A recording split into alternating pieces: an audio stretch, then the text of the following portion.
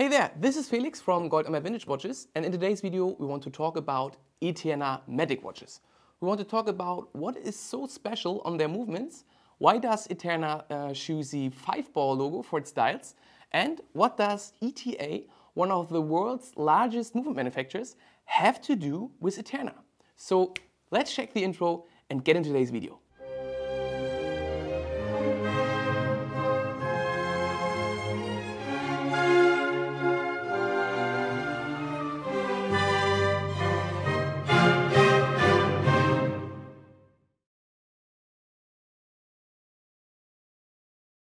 When we started our watch business, we had a surprising and immediate connection with the brand Eterna. And in our opinion, the brand is another one of those vintage watch brands like Movado and Zenith that is still massively undervalued in the today's market. Especially if you consider mm, the importance of Eterna for the watch history and for today's watch industry. From its early days, the company was known for innovation in movement development they becoming the first to serially produce an alarm wristwatch and in 1948 patenting the ball bearing mounted winding rotor which gave birth to the name Eterna Matic and the company's logo consisting of five ball bearings as you can see on our dial. In the 1930s, Eterna splits its brand in two different companies.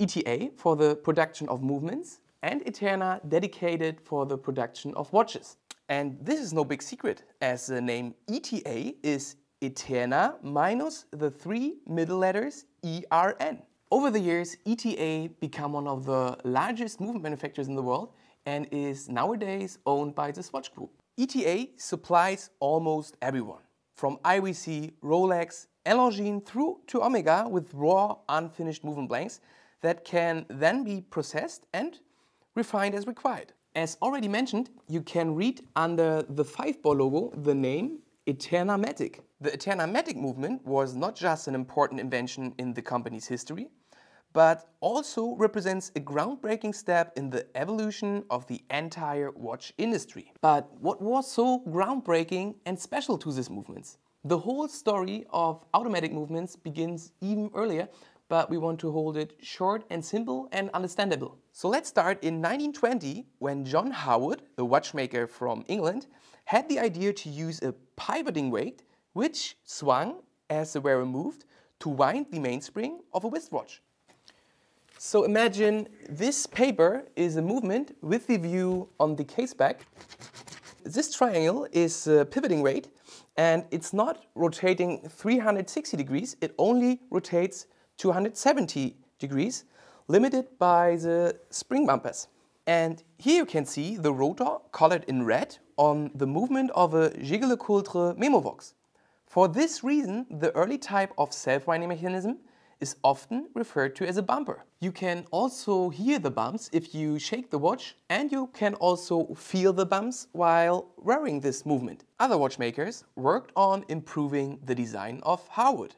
Among them, Rolex developed a new system called Perpetual, as you can see it on this day-date movement, also colored in red. And this system was based on a rotor which could um, turn 360 degrees and so it can capture more energy with every turn. By the way, the front view is also great.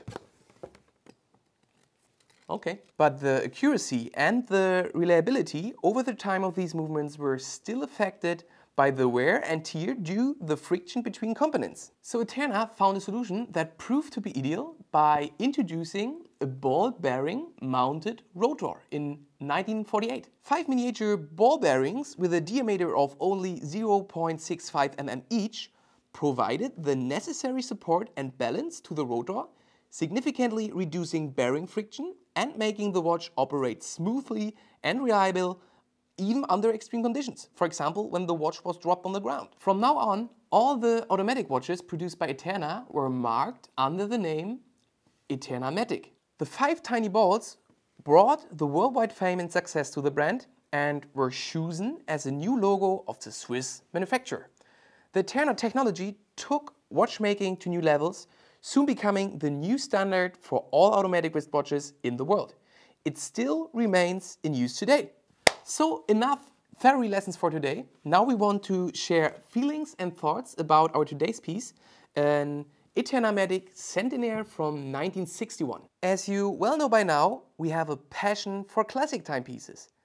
This Eterna is very modest and reduced to minimum without any bling bling.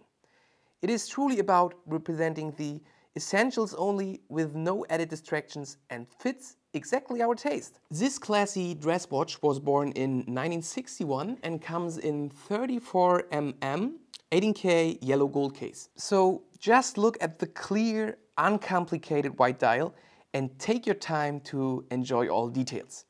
Start your visual journey at the small and subtle Eternamatic wording, crowned by the simple and discreet 5-ball bearing logo.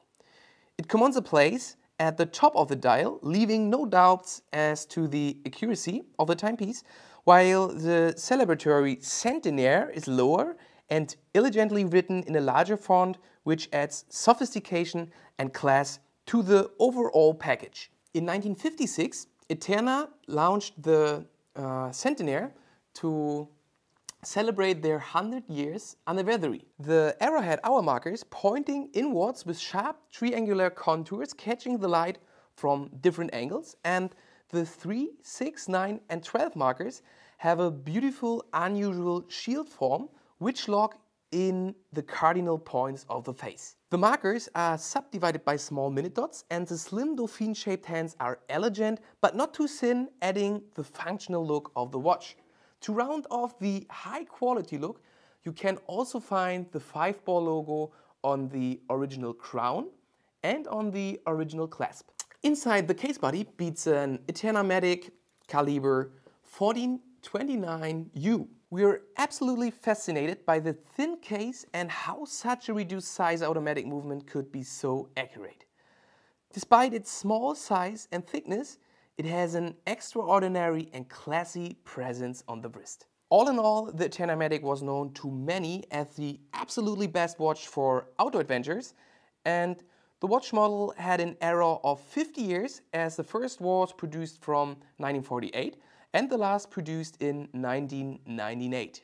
Unfortunately, that is all for today. We hope you learned something new about Eterna Matic watches and as always, we would be very thankful if you hit the like button, subscribe our channel, or write a comment to support us.